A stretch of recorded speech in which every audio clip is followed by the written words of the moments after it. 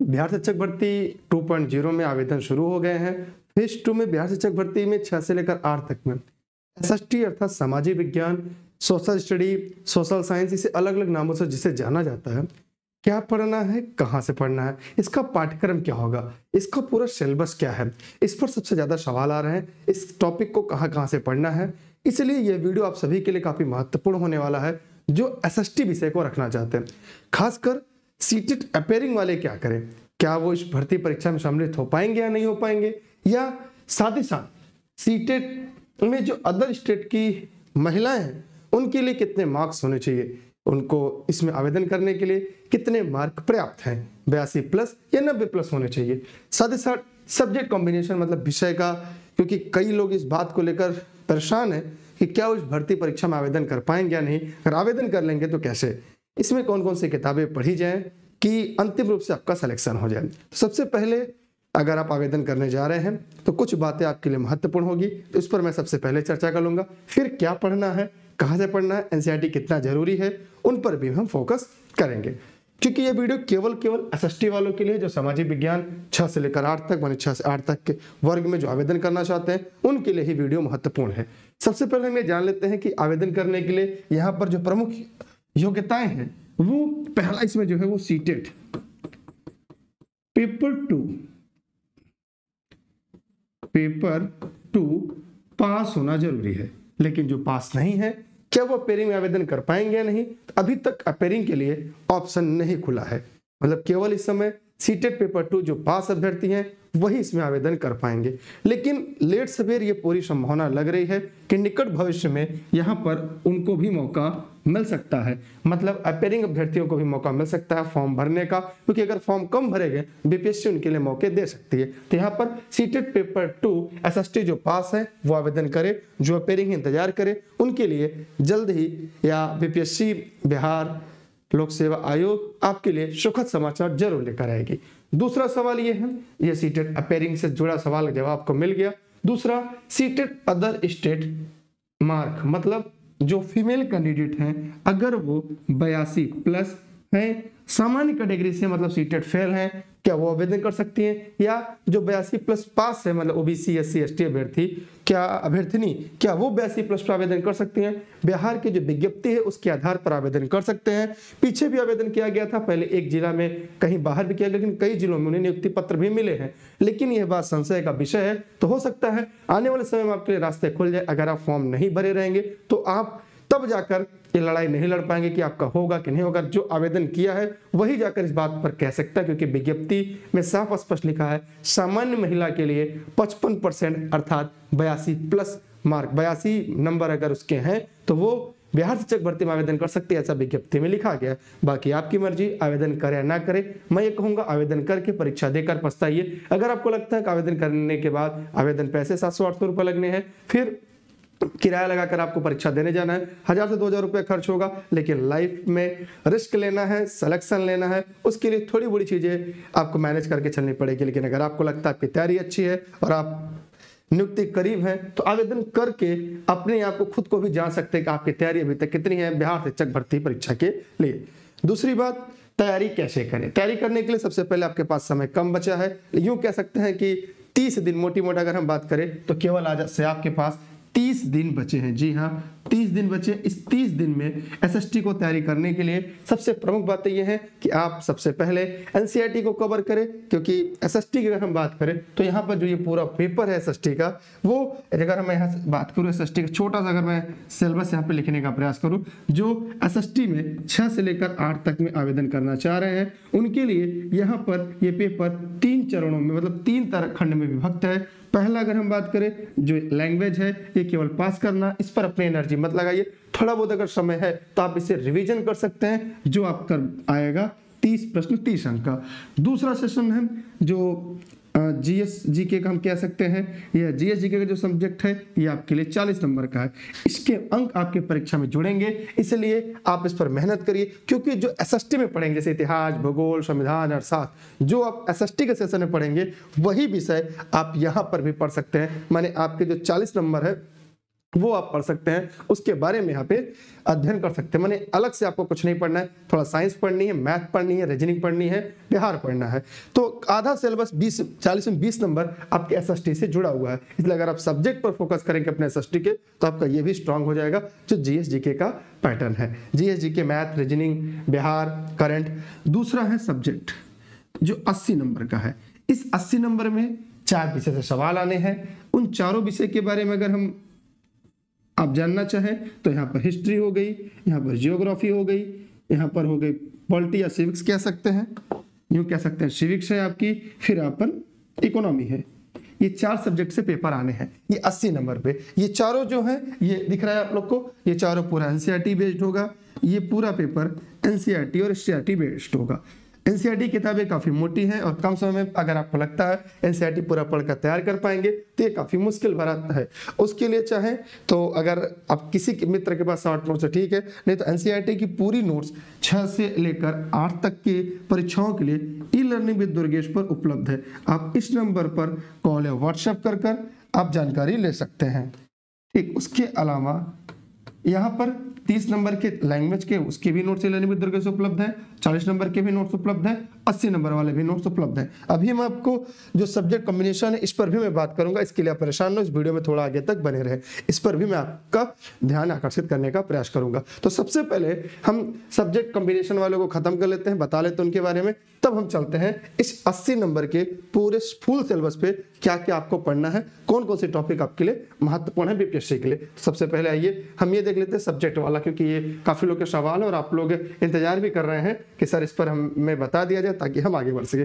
देखिए, छह से लेकर आठ तक, माने छह से लेकर आठ तक, छह से लेकर आठ वर्ग में अगर आप फॉर्म भरना चाहते हैं बिहार में तो अध्यापक पद के लिए स्नातक स्तर पर आपके प्रतिष्ठा हानस अनुशांसिक सब सीडीएरी विषय के रूप में संबंधित भाषा अगर हो तो ठीक है। यहाँ पर हम बात करते हैं सामाजिक विज्ञान के लिए। इसी सामाजिक विज्ञान को हम एस का नाम दे रहे हैं। इसी को हम क्या कह रहे हैं? एसएसटी का नाम दे रहे हैं। इस पर आपके, अगर स्नातक स्तर पर, माने ग्रेजुएशन के तीन साल में, किन्हीं दो विषयों इनमें से अगर आपने पढ़ा है, जिसमें से एक इतिहास हो गया, भूगोल हो गया, राजनीति शास्त्र हो गया, ठीक, दर्शन शास्त्र हो गया, और शास्त्र हो गया, वाणिज्य हो गया, मनोविज्ञान हो गया समाज शास्त्र हो गया, गृह विज्ञान, इनमें से अगर कोई आपका दो विषय है, तभी आप एसएसटी के लिए आवेदन कर पाएँगे, अन्यथा नहीं कर पाएँगे। सवाल उठता है कि सर जिन्होंने बीसीए किया है जो बीसीए किए हैं, उनके लिए क्या होगा? जो बीसीए का रखा है, उनके लिए ध्यान देने योग्य बात है, जो भी अभ्यर्थी बीसीए के अभ्यर्थी हैं, वो अभ्यर्थी, अगर उन्होंने सॉरी बीसीए नहीं बीसीए के नहीं बीकॉम के अभ्यर्थी सॉरी जो बीकॉम के अभ्यर्थी हैं, उनके लिए जानना ज़रूरी है कि जो बीकॉम के अभ्यर्थी हैं, उन्होंने, अगर वाणिज्य सब्जेक्ट पढ़ा, ध्यान दीजिएगा, एक सब्जेक्ट है आपका, वाणिज्य। ये हो गया आपका वाणिज्य। अगर वाणिज्य के साथ आपने उसी ग्रेजुएशन में बीकॉम में अगर आपने अर्थशास्त्र पढ़े हैं, अगर आप वाणिज्य मतलब बीकॉम कॉमर्स के अभ्यर्थी हैं, ध्यान दीजिएगा, अगर आपने यहाँ पर इन विषयों को पढ़ रखा है तो आप ध्यान समझने का प्रयास करिएगा। मैं समझाना चाह रहा था कि सबसे पहले जो विषय का क्रम मैंने आपको बताया, वो ध्यान समझिएगा। सामाजिक विज्ञान के लिए मतलब एस छह से लेकर आठ वर्ग के लिए मैं बीपीएससी की बात कर रहा हूँ 2.0 की मैं बात कर रहा हूँ 2.0 की मैं बात कर रहा हूँ। यहाँ पे बीकॉम के अभ्यर्थी जो है, जिन्होंने बीकॉम ले रखा है, अगर वो अर्थशास्त्र के साथ साथ, वाणिज्य के साथ अर्थशास्त्र पढ़ा है तो वो अभ्यर्थी आप आवेदन कर पाएँगे। लेकिन इसके लिए आपको सीटेट का पेपर टू माने सीटेट सेकेंड पेपर एसएसटी से पास होना अनिवार्य है। ठीक इसके लिए मैंने वीडियो में शुरुआत में बता रखा है। दूसरी बात, अगर उसके अलावा कोई अभ्यर्थी बीए है, अगर कोई अभ्यर्थी ग्रेजुएट है तो वहाँ पर उसने इतिहास, भूगोल, राजनीति शास्त्र दर्शन शास्त्र अर्थशास्त्र वाणिज्य, मनोविज्ञान, समाज शास्त्र गृह विज्ञान में से अगर उन्होंने कोई दो विषय स्नातक में रखे हैं अगर ग्रेजुएशन में कोई इसमें से दो विषय है तो आवेदन कर पाएँगे। ऐसे अभ्यर्थियों की संख्या बहुत कम है, जिनकी ग्रेजुएशन में इस सब्जेक्ट का कालम में दो सब्जेक्ट हो। ऐसे अभ्यर्थियों के लिए बीपीएससी लेट सवेर ऐसी भी विज्ञप्ति आ सकती है कि ऐसे वे सभी तमाम अभ्यर्थी, जिनके इनमें से कोई एक सब्जेक्ट भी ग्रेजुएशन में उन्होंने पढ़ा है, वो आवेदन कर सकते हैं। फ़िलहाल अभी तो आवेदन नहीं कर सकते, लेकिन निकट भविष्य में आवेदन कर पाएँगे। खुदा नखास्ता अगर आपको ऐसा लगता है कि फॉर्म की डेट खत्म होने वाली, एक आध दिन बचे हैं, और या एक दिन बचा हुआ है, और आपका विषय नहीं है दोनों, एक ही विषय से मिल रहा है तो मैं व्यक्तिगत मेरी राय होगी कि आप फॉर्म भर दीजिएगा, परीक्षा दीजिएगा। हो सकता है अंत में जाते जाते आपको इसके लिए मौका मिल जाए। ये रिस्क लीजिएगा, खुद पर सोचे अगर आपको लगता है, अगर आपके अंतरात्मा ऐसा कहती है तो करिएगा, अन्यथा ना करेगा ये आपके ऊपर है। तो विषय कॉम्बिनेशन जो था, वो मैंने एकदम स्पष्ट रूप से बता दिया कि यहाँ से अगर आपका मैच करता है, मिलता है तो ही तो आप आवेदन करिएगा, अन्यथा ना करेगा ये था एस को लेकर। अब हम इसके सिलेबस की तरफ़ बढ़ते हैं। एकदम विधिवत सिलेबस की बात करेंगे, कहीं भी कोई भी टॉपिक आपका नहीं छूटने वाला है। सबसे पहले हम एसएसटी के 40 नंबर की तरफ़ बढ़ते हैं। 40 नंबर की तरफ़ बढ़ेंगे, उसके बाद हम, तब हम आगे नए तथ्यों की तरफ़ बढ़ेंगे। सबसे पहले यहाँ पे हम ध्यान देंगे बीपीएससी बीपीएससी 2.0 की अगर हम बात करें, यहाँ पे मैं बात कर रहा हूँ एस एस टी यहाँ पे मैं छह से लेकर आठ तक, छह से लेकर आठ वर्ग के लिए एसएसटी जो सब्जेक्ट है, इस एस सब्जेक्ट में जिसे हम सामाजिक विज्ञान या सोशल साइंस के नाम से भी आप जानते हैं सोशल स्टडी भी कुछ लोग कहते हैं इसे। इस एसएसटी के साथ हम तीन तरह के जो विषय क्षेत्र है, हम और आप उस पर ही काम करते हैं। अब इसके तीनों विषय क्षेत्र में सबसे पहले जो भाषा है, अगर मैं भाषा की बात करूँ तो भाषा में आप उम्मीद करते हैं अदर स्टेट से हैं या बिहार से मुझे देख रहे हैं। अगर आप हिंदी लेने जा रहे हैं, यहाँ पर अगर आपने हिंदी लिया है तो हिंदी के लिए सबसे अच्छी है किताब लूसेंट का आप रिविजन कर लीजिए। हिंदी के लिए लूसेंट प्रैक्टिस कर सकते हैं और इंग्लिश के लिए भी लूसेंट है। माने हिंदी है प्लस अगर आप अंग्रेज़ी लिए रखे हैं। इसके लिए सबसे अच्छी किताब अगर मैं बात करूँ तो जो मुझे लगता है, मेरे हिसाब से लूसेंट की एमसीक्यू सीरीज़ आती है। यहाँ पर इसके लिए आप लूसेंट ले सकते हैं। अगर आप लूसेंट पढ़ सकते हैं तो आपके लिए बेस्ट है। ठीक, अंग्रेज़ी के लिए, क्योंकि यहाँ पे तीस प्रश्न होंगे। तीस प्रश्न, और क्वालिफाई करने के लिए आपको तीस परसेंट अर्थात नौ प्रश्न सही करने यहाँ पे नौ प्रश्न आपको सही करने हैं, केवल क्वालिफाई करना है एस में। दूसरे वर्ग विषय की तरफ़ चले तो दूसरा वर्ग विषय जो आपका कहता है, वो ये कहता है, यहाँ पर हम जीएस जी के जीएस जी के है प्लस इसमें गणित भी है सामान्य गणित है उसके बाद तर्क शक्ति जिसे रीजनिंग के नाम से जानते हैं तर्क शक्ति है प्लस करंट है। बिहार स्पेशली कोई भूमिका नहीं है फिर भी हम लोग ये मान लेते हैं कि कुछ हद तक बिहार ही होगा। कुछ हद तक यहाँ पर बिहार जीके भी होगा लेकिन नाम मत के सवाल बिहार जीके से आते हैं। अगर आप अदर स्टेट से हैं तो ज़्यादा इस पर, पर अपना फोकस ना करें। अब इसमें भी हम लोग देखेंगे, इसमें से भी आपके लिए क्या क्या चीज़ें प्रमुख हो सकती हैं। अगर इस जीएस जीके की मैं बात करूँ, देखिए जीएस जीके की मैं अगर बात करूँ तो यहाँ पर आपके लिए क्या क्या होगा? इतिहास पढ़ना होगा। इसके साथ साथ आपको भूगोल पढ़ना होगा। इतिहास, भूगोल। दुख जाइए थोड़ा सा लिखने में। इतिहास हो गया, भूगोल हो गया, संविधान हो गया, जो नागरिक शास्त्र के नाम से भी आगे पढ़ेंगे। संविधान आपको पढ़ना है अर्थशास्त्र आपको पढ़ना है। ठीक अर्थशास्त्र के साथ साथ सामान्य विज्ञान पढ़ना है। इसमें कंप्यूटर भी आएगा, साइंस एंड टेक्नोलॉजी भी रहेगी। सामान्य विज्ञान की सीरीज़ में उसके आगे अगर हम बात करें तो विविध तत्व विविध तत्व में सारे आ जाएँगे। ठीक? इसके साथ साथ जो सी है करंट अफेयर है, ये भी करंट भी आपका जुड़ जाएगा करंट अफेयर मैंने इतनी चीज़ें आपको पढ़नी है, किसके साथ? इस 40 नंबर के साथ। क्योंकि इसकी पूरी जो सिलेबस है, ये 40 प्रश्न आएँगे। यहाँ पे कितने आएँगे?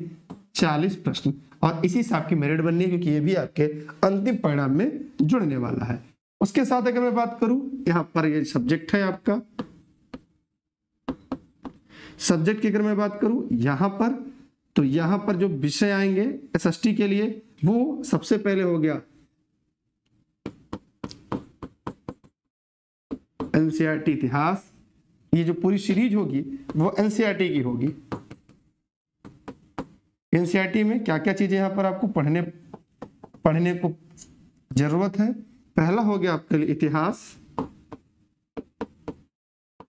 दूसरा आपके लिए हो गया भूगोल। तीसरा जो हम यहाँ पढ़ने के लिए सोच रहे हैं, वो है सिविक्स माने नागरिक शास्त्र।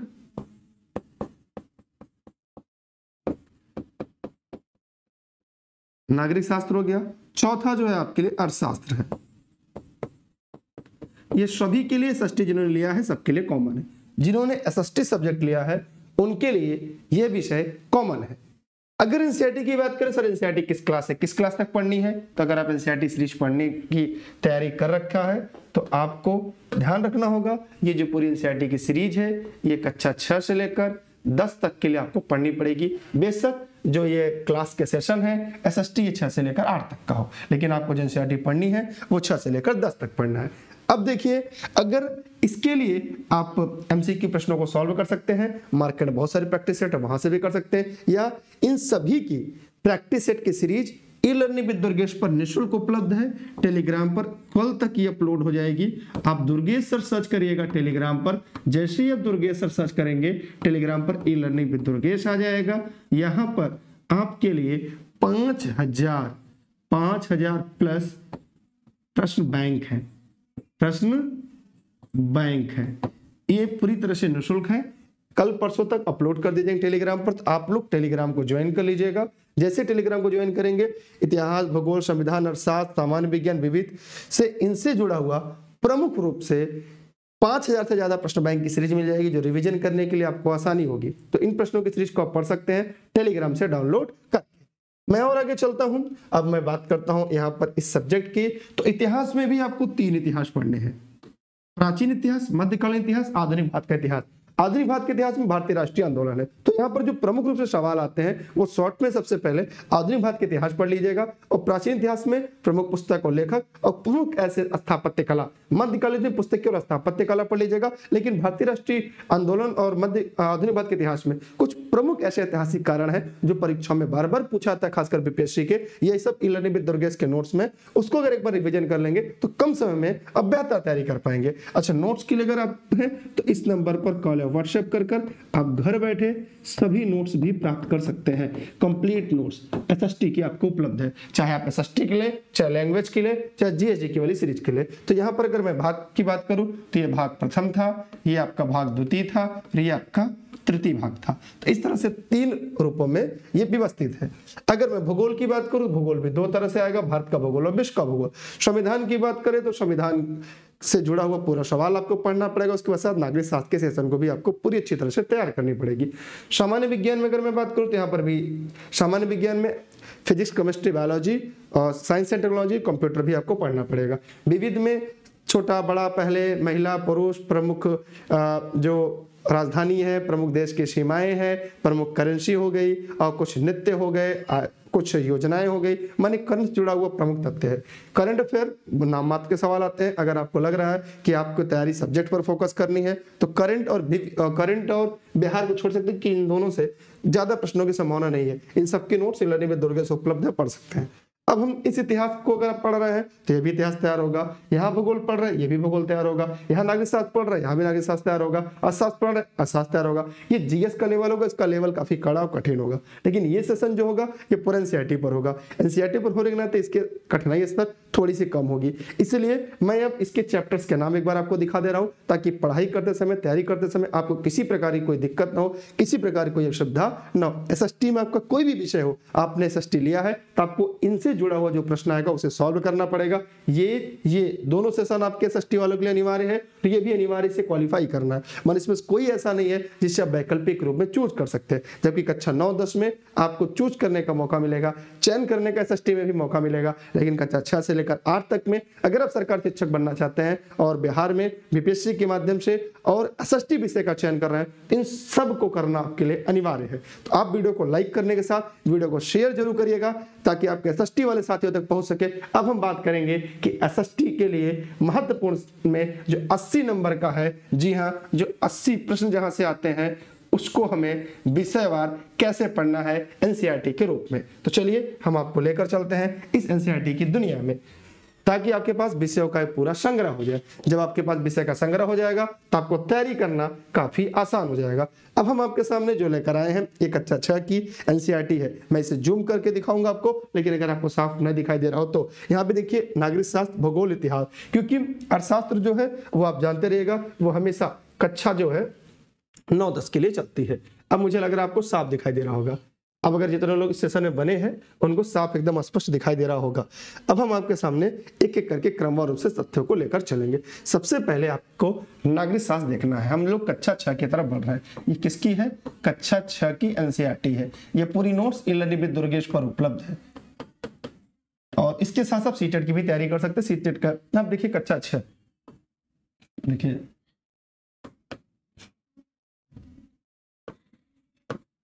यहाँ पे हम कक्षा छह के एनसीआरटी देख रहे हैं नागरिक शास्त्र में चैप्टर वन आपको देखिए, विविधता की समझ पढ़ना है, विविधता विभेद पढ़ना है, सरकार क्या है, पंचायती राज व्यवस्था क्या है, गाँव का प्रशासन, नगर प्रशासन, ग्रामीण क्षेत्र में आजीविका, शहरी क्षेत्र में आजीविका का संदर्भ। तो ये था आपका आठ अध्याय जो कक्षा छह के एनसीआरटी में नागरिक शास्त्र में पढ़ना है।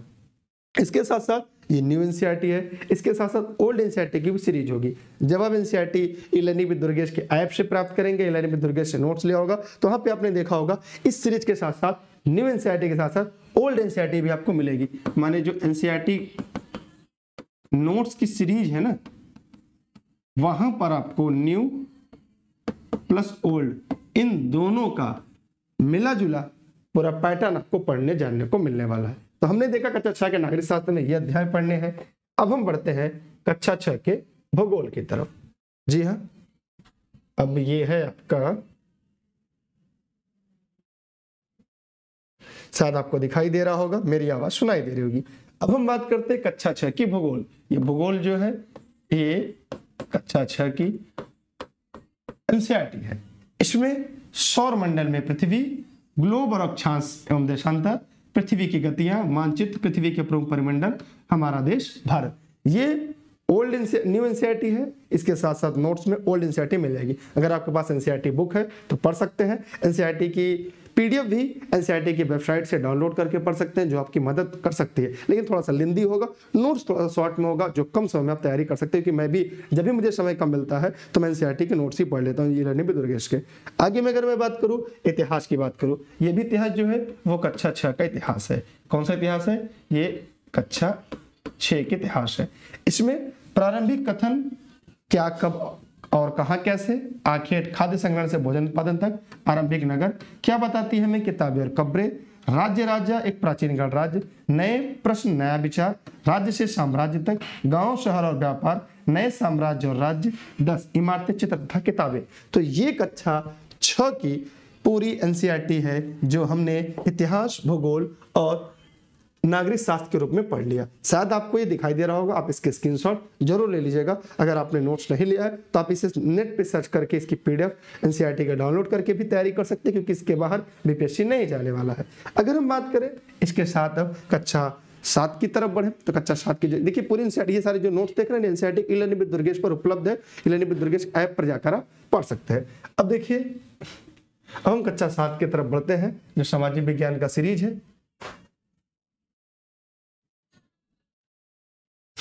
अब यहाँ पर हमारे सामने और आपके सामने आ गया है फिर से नागरिक शास्त्र। ये जो सॉरी जो ये नागरिक शास्त्र है, ये कक्षा सात का है। जी हाँ कक्षा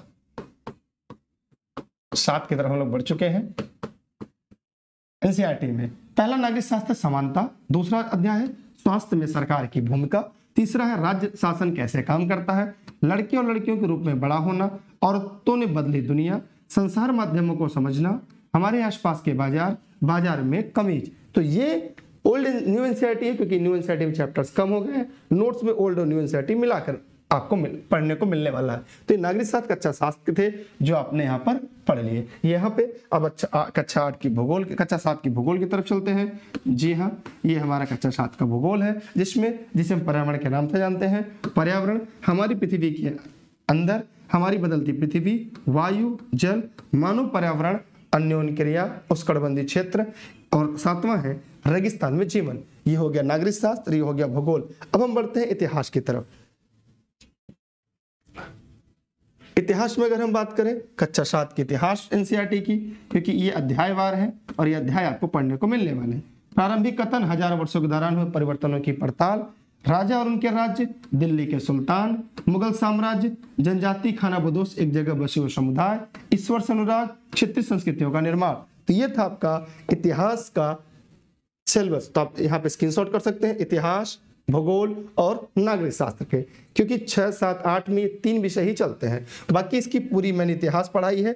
ई लर्निंग विद दुर्गेश के प्ले स्टोर पर होगा यूट्यूब पर होगा प्ले लिस्ट बनी होगी। आप जाकर इन इतिहास की सीरीज़ को पढ़ सकते हैं छः सात, आठ। अभी भूगोल की भी मैराथन हम आपके लिए लेकर आने वाले हैं। अगर आप लोग वीडियो को शेयर करेंगे कॉमेंट करेंगे कि किस एनसीआरटी की मैराथन पढ़ना चाहते हैं, एक दिन में एक कक्षा खत्म, यानी छः का पूरा भूगोल खत्म छः की पूरी इतिहास खत्म छः की पूरी पॉलिटी खत्म। अगर आप साथ देंगे, इस तरह करके हम पूरी कंप्लीटली आपके लिए सीरीज़ लेकर आ जाएँगे। अगर आप सपोर्ट करेंगे, लोगों तक पहुंचाएँगे, मदद करेंगे दूसरों की भी और अपनी भी तो हम आपके लिए सेशन लेकर आएँगे। क्योंकि मेरे द्वारा क्लासेज निःशुल्क रहेंगी। देश हित में, राष्ट्र हित में। उसी के साथ आप कहीं ना कहीं नोट्स जो होगा, उससे भी पढ़ लेंगे। उससे भी कम समय में बेहतर तैयारी कर पाएँगे।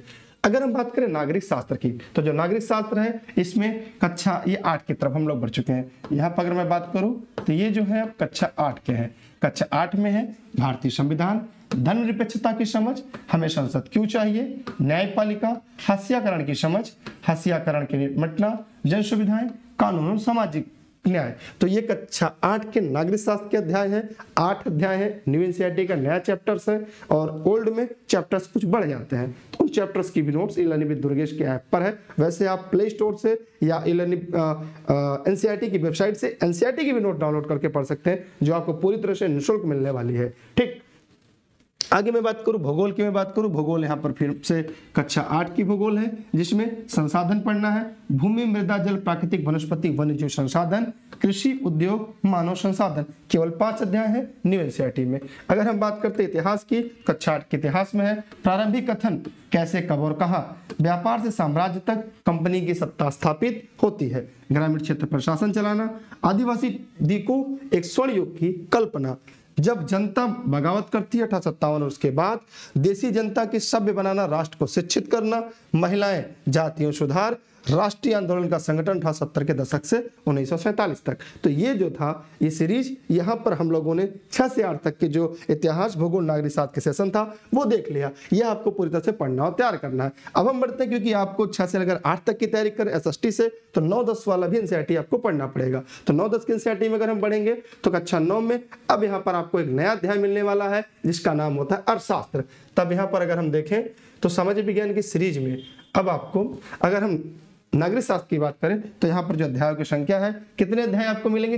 पाँच अध्याय आपको पढ़ने पड़ेंगे। किसके लिए? ये नागरिक शास्त्र। ये जो नागरिक शास्त्र है, ये कक्षा नौ की अगर हम बात करें तो कक्षा नौ में। कक्षा नौ में क्या क्या है? लोकतंत्र, या क्या लोकतंत्र क्यों? संविधान निर्माण, चुनावी राजनीति, संस्थाओं का कामकाज, लोकतांत्रिक अधिकार। अब अर्थशास्त्र की बात करते हैं। जो अर्थशास्त्र है, ये नौ, दस, ग्यारह, बारह में होता है। अगर आप छह से लेकर आठ तक में तैयारी कर रहे हैं तो आपको नौ और दस के में पढ़ने, क्योंकि अर्थशास्त्र आपको कक्षा नौ और दस में पढ़ने को मिलने वाला है। ठीक?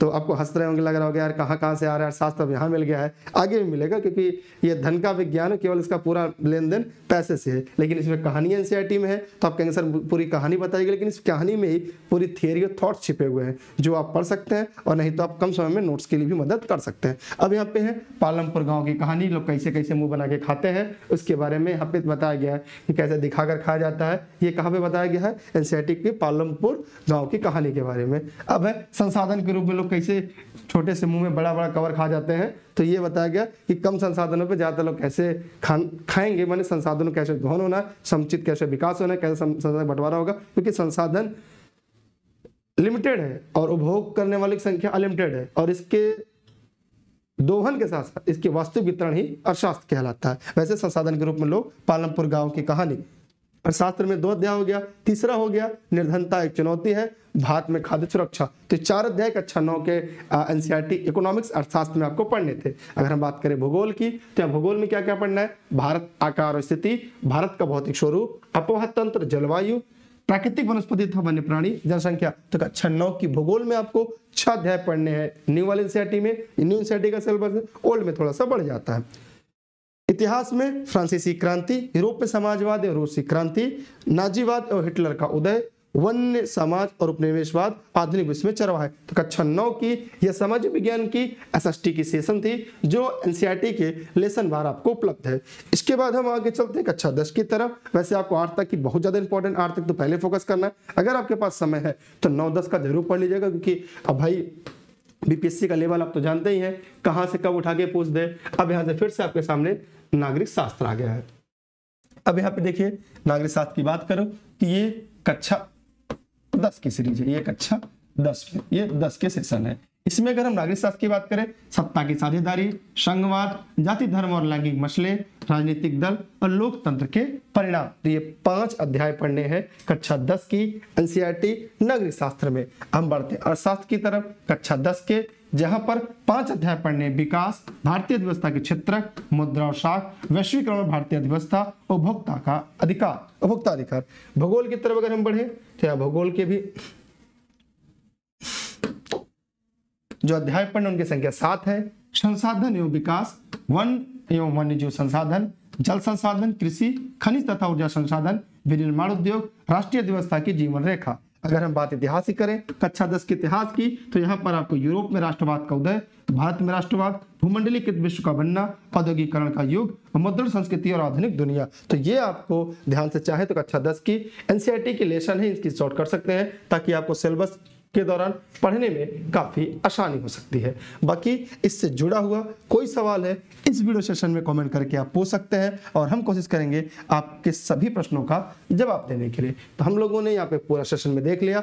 अगर आप इस सेशन को पढ़ते हैं एनसीईआरटी के तो यहाँ से इसकी तैयारी हो पाएगी, लेकिन इसका जो पैटर्न है थोड़ा सा अलग है। क्योंकि जीएस जो थोड़ा सा लेंदी पूछता है बीपीएससी जानते हैं बीपीएससी नाम ही काफ़ी है तो इसका जो लेवल थोड़ा सा हार्ड होगा, इसलिए इसकी नोट्स आपको अलग पढ़नी होगी। ये सेशन अलग पढ़ना होगा। हाँ कुछ चीज़ें आपको कॉमन मिल जाएँगी, जैसे इतिहास, भूगोल, नागरिक शास्त्र जो कॉमन चीज़ें हैं, वो आपको दोनों में मिल जाएँगी। तो जो एस से तैयारी कर रहे हैं, उनके लिए ये पोर्शन तो आसान है, क्योंकि उन्होंने ये कितनी बार पढ़ा होगा। कुछ लोग एनसीआरटी पढ़ चुके सेशन में पढ़ रहे होंगे। इन दोनों के एमसीक्यू सॉल्व करनी होगी। ज़्यादा ज़्यादा प्रैक्टिस पर फोकस करिएगा। जो ई लर्निंग विद दुर्गेश के नोट्स एनसीईआरटी के हैं, उस नोट्स की सबसे बड़ी विशेषता क्या है? उस नोट्स के साथ आपको पूरा उसके क्वेश्चंस जो है एनसीईआरटी के जो क्वेश्चन बैंक है, वो मिल जाएँगे। कुछ लोग कहना ये मानना होता है बीपीएससी का लेवल बहुत हाई होता है और वो आउट ऑफ़ सिलेबस सवाल पूछता है। तो आप एनसीईआरटी जो होती है, उससे प्रश्नों की भाषा आपके समझ में आती है कि जो प्रश्न पूछ रहा है, वो क्या कहना चाहता है या क्या पूछ रहा है। एनसीईआरटी से दूसरा फ़ायदा ये होगा कि आपको शब्दों की पकड़ मज़बूत हो जाएगी जो परीक्षाओं में सवाल आते हैं।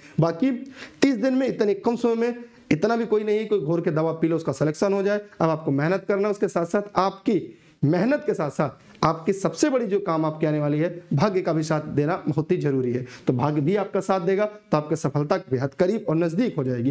फ़िलहाल इस वीडियो को शेयर करिएगा, और हाँ इसकी पूरी नोट्स इलानी में दुर्गेश पर मेरी निःशुल्क क्लासेज आपकी लाती है। हम आपके मैराथन क्लास लेकर आ रहे हैं अगले तीन दिनों के बाद से। हर दूसरे दिन एक मैराथन आएगी, जहाँ पर इतिहास, भूगोल अर्थशास्त्र नागरिक शास्त्र इनकी मैराथन क्लास होगी। एक एक क्लास तीन से चार चार घंटे सात सात घंटे आठ आठ घंटे की होगी। भूगोल की क्लासेस अठारह से बीस घंटे की होगी। अठारह से बीस घंटे की क्लास में संपूर्ण भूगोल आपको समाप्त कर दिया जाएगा, जहाँ पे विश्व भूगोल, भारत का भूगोल, उनके प्रश्न बैंक की सीरीज़ होगी एमसीक्यू की और उसकी व्याख्या होगी। प्रश्नों के साथ साथ अगर आप व्याख्या आपने पढ़ लिया, वीडियो को दो बार देख लिया, उससे जुड़ा हुआ कोई सवाल परीक्षा में आप आसानी से कर लेंगे। तो कितने ऐसे साथी हैं जो मैराथन क्लास के लिए जुड़ना चाहते हैं? मैराथन क्लास की जो लिंक है, वो इसी टेलीग्राम पर आपको मिलेगी। इसलिए जो भी साथी अभी तक टेलीग्राम पर नहीं जुड़े हैं, वो टेलीग्राम पर यहाँ पे दुर्गेश सर सर्च करके ई लर्निंग दुर्गेश से जुड़ सकते हैं। और निःशुल्क क्लास के लिए व्हाट्सएप ग्रुप में भी जुड़ सकते हैं ताकि हर सूचना की नोटिफिकेशन आपको मिलती रहे। इस नंबर पर अपना नाम और जिला लिखकर अगर आप भेज देंगे तो व्हाट्सएप ग्रुप में जुड़े रहेंगे, जहाँ से आपको हर सवाल के जो क्लास की लिंक है, वो आपको मिल जाएगी। क्लास की पीडीएफ नोट भी आपको मिलती रहेगी। बाकी चीज़ें आपको टेलीग्राम के माध्यम से ही मिलती रहती हैं। बाकी नोट्स के लिए, अगर अभी तक आपने नोट्स नहीं लिया, अगर आपको लगता है इलानी दुर्गेश की नोट्स की आपको ज़रूरत पड़ेगी तो आप इसे लेकर अपनी तैयारी को बेहतर कर सकते हैं। बाकी जो अपेयरिंग का अभ्यर्थी वो ध्यान रखें, आपको आगे मौका मिल सकता है। यहाँ पर एनसीआरटी के भी नोट्स आपको मिल जाएँगे, पूरी कॉम्पिटेटिव नोट्स मिल जाएँगे, लेकिन आपको तैयारी भी बेहतर करनी है। बड़ी बड़ी मैराथन क्लास होगी, देखिए समय कम है, आपको अपने से मेहनत करना पड़ेगा, किसी के पास कोई ज़्यादा छड़ी नहीं है, घुमा बाद आपका सिलेक्शन हो जाएगा। कम समय बेहतर तैयारी करने के लिए आपको सबसे पहले ध्यान देना होगा कि खुद पर भरोसा रखना होगा। नोट्स पर अगर आप फोकस कर पाएँगे तो सफलता के लिए काफ़ी करीब पहुँच पाएँगे, क्योंकि वो रिवीजन करना आसान होती है। एक दिन में दस से बारह घंटे पढ़ने हैं। मैराथन क्लास कितने लोग तैयार है? कॉमेंट करके बताइएगा। मैराथन क्लास दस दस, आठ आठ घंटे की होगी। परसों से मैराथन क्लास स्टार्ट होने जा रही है। तो आप लोग अपना